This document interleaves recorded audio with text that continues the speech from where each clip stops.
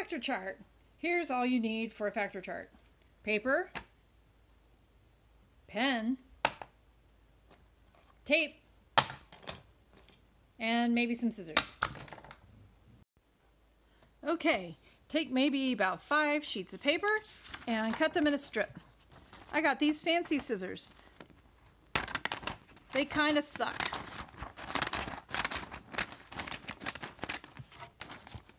There. Now I'm going to put that at the bottom so it looks fancy. Tape them together using the tape.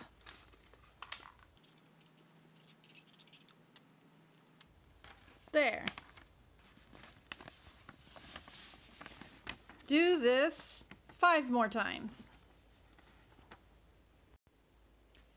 Here's my factor chart now. And my dog. Next, write 1 to 100 on the top edge of the paper, leaving some room at the bottom underneath the numbers. Now, the first step in the factor chart is you write all the factors out, which means that you start with 2. I'm going to put a star under 2 because it's prime. It's the only one there. Now, I skip 2, 1, 2, and put a 2 under the 4 because 4 has a factor of 2. Same with 6. 6 also has a factor of 2. 6 is divisible by 2. 8 is divisible by 2. 10 is divisible by 2, and so forth. I'm going to do it all the way down. Put 2 under every number that is divisible by.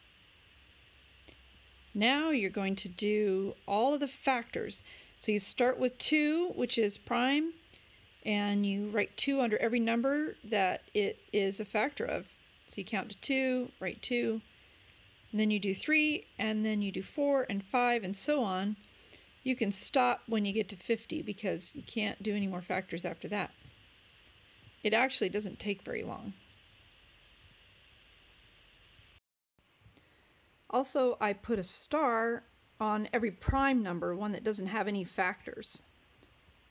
Here's the completed chart. You can see the stars for the prime numbers and also the numbers that have a lot of factors.